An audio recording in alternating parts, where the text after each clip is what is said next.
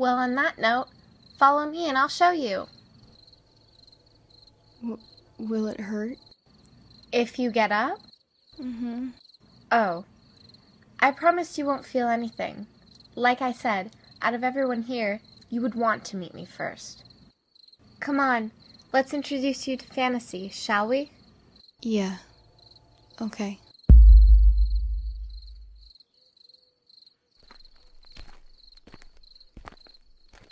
So, do you own this forest? No, I just keep it safe. But I do have a connection with it. See, my parents were killed when I was at a young age, leaving me to take care of my little cousin Claude alone. After my parents' death, Claude and I were the only ones left of our family. Either family members were killed or abandoned us. For the longest time, our family had been targeted because of me and my unnatural abilities. So I took Claude with me to live in the forest, away from creatures who saw us as a target. That is the saddest backstory I've ever heard. I'm so sorry. You don't need to apologize.